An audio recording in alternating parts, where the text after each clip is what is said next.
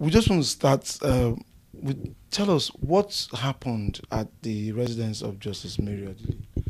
Yes, I got a distress call from another uh, very senior counsel that uh, the Honorable Justice Mary Peter Odili's house was surrounded by fully armed security personnel.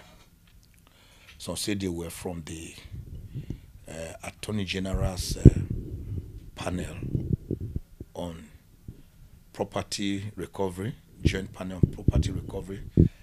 Some said they were from EFCC, a statement the EFCC has just denied. Some said they were from DSS, some said they were from police, some said they were from army. And that got me worried. I was just coming from the airport on my way to Abuja from Lagos, so I had to move to the premises immediately.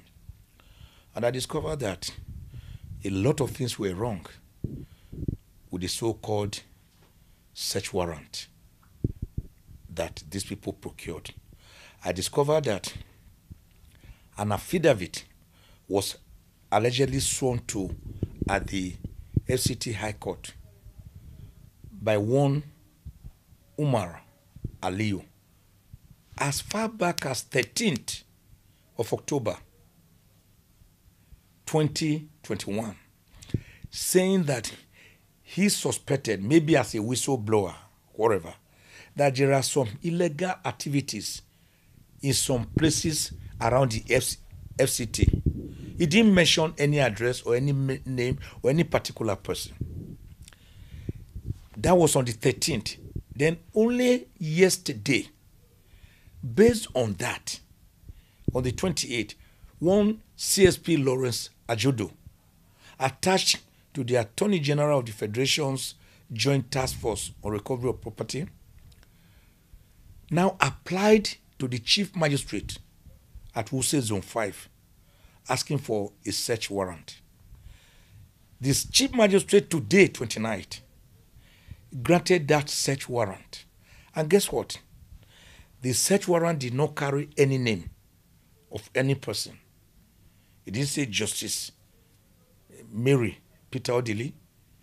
It didn't say the husband, Dr. Peter Odili. So it was clear that this was a wrong address. No name was put on it so as to say that it was targeted. I do know as a lawyer of over 40 years at the bar that if you want to carry out a search warrant, you don't carry out a search warrant at the graveyard or a cemetery or abandoned houses. There will be a person you are targeting. Who were the persons? They did not put a single name. What address? You got the wrong address. So there's this theory, therefore, that could have been a clear case of genuine mistaken identity. I only hope so.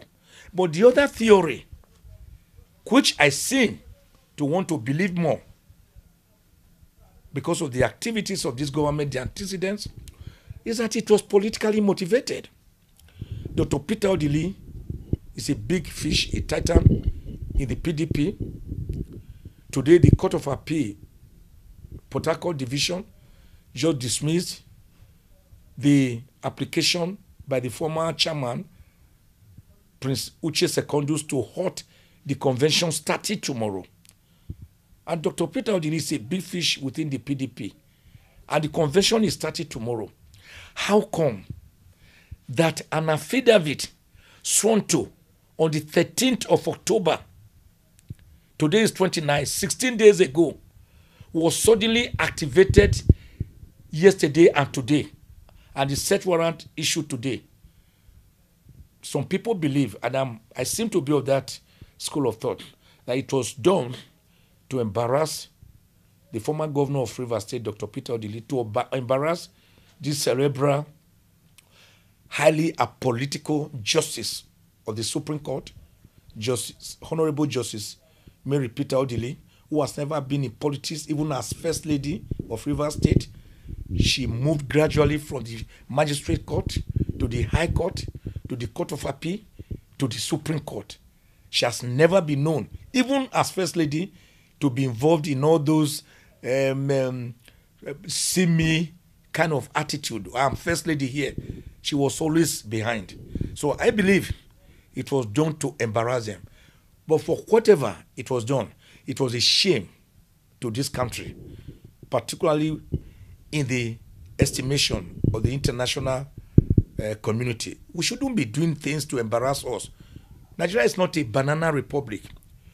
We are the biggest nation among the black race in the world. Nigeria is 212.9 million people by the latest UN projection as of three days ago. And we shouldn't be behave like all these banana republics that have 500,000 people or 1 million people. A robust country like this, driven by the best brains in the world, that we should have eh, security forces barging into the solemn house of a justice of the Supreme Court, no name on the search warrant. You are barging into a house which is number seven, Imo River Street, whereas your search warrant bears clearly number nine, Imo Street. What is the correlation between Imo River, number seven, and Imo Street, number nine? Did you see? Yes. The, did you see the officers themselves? Uh, were you able to identify, um, for instance, which arm of security agency? When one of them that was spoken to by the security men at the premises was identified as one Major Ola. That was the only one. The rest were keeping to the shadows. I'm just coming from the house because we all decided to stay there and mount night vigil to see what and how they will do it. I wanted to see whether they were going to do what they did August 2016 that has forever put a black spot on me, on, on, on Nigeria, where they barge into homes of justices of the Supreme Court, hooded DSS operatives without any cause, ransacked everywhere, and some of the judge, justices were found to be innocent. One of them just died, apparently never getting over that experience because he was finally exonerated. But there was no apology from the security forces to say, oh, we made a mistake, we are sorry that we barged into your house erroneously. I would expect the security forces this time around to issue a public apology to the Honorable Justice Mary Peter Odili, whichever arm of the forces did it, because EFCC has already denied it. If DSS also comes out to deny it, the police comes out to deny it. I've already said that CSP, one CSP, Ajodo, Lawrence Ajodo, attached to the Joint Task Force Recovery of Property in the Office of the Attorney General, carried, I mean, got procure or got the um, um, the search warrant. So if they now find that it was an erroneous entry, either it was a mistake, for God's sake, let them do Nigerians and Nigeria the minimal of saying we are sorry. We made a honest mistake. And heavens will not fall. And they will be applauded for it. But let them not always pretend that all is well, even after causing great embarrassment. The, go, go on internet, the, the, the, the matter went viral everywhere.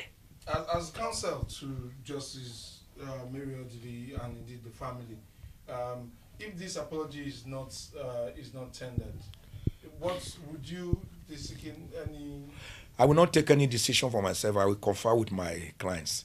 A lawyer does not take decisions on his own. He's briefed by a client to take a particular decision. But one thing is clear to me is that they were wrong, wrong, and wrong. And when you make mistakes, there's what you call atonement for your mistakes. Apology is one of them. This word or this phrase, I'm sorry, is a balm that suits frayed nerves and bring about a spirit of risorgimento. But to pretend you have done well when you know you have hurt some feelings, when you know you have greatly embarrassed and ridiculed a serving justice of the Supreme Court, one of the best we ever had, whose judgments drip with fecundity, lucidity, and intellectualism, is not a fair deal for Nigeria, particularly for the judiciary, which has been made to be the crouching arm of the government, maybe going by what Alexander Hamilton once said in his Federalist paper num- number 78 that the judiciary is the weakest arm of government because it has neither sword to defend the judgment nor the purse to keep any sums. So it has to depend on the executive, even for judgments it has delivered. So the Nigerian judiciary has suffered a lot in the hands of executives, successive executives over the years, even during military. But I want to dare say that not even under military dictatorships has the judiciary suffered much damage than under the present um, democratic dispensation. And this is a sad commentary on a democratic dispensation Thank you very much. and constitutionalism. Thank you, sir. Yes, thank you.